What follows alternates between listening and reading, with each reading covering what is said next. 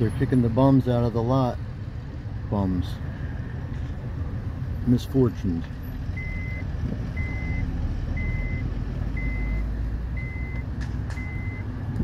Controlled fire. Former residents.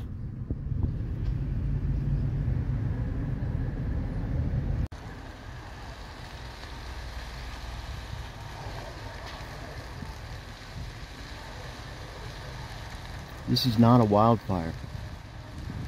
I'm behind this super Walmart in Vineland, New Jersey, off Delsea and Landis Avenue. Apparently they're clearing an overgrown lot behind the Walmart. But really, it's a homeless encampment.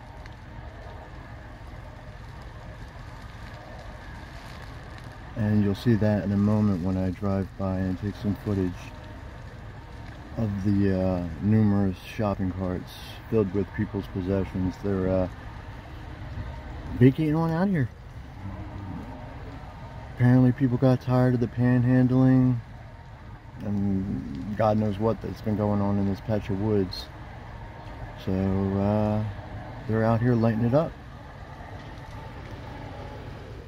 It seems illegal, but the legals are doing the illegal.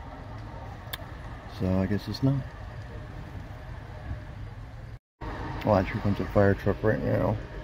Probably telling me to get out of here and stop filming. Here's the people that just lost their home.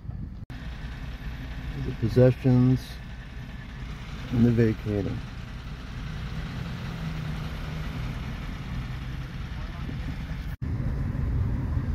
Well they split. Too many people too much smoke. Bad idea doing in the middle of the day. They all left. They all left. And they left this poor person out.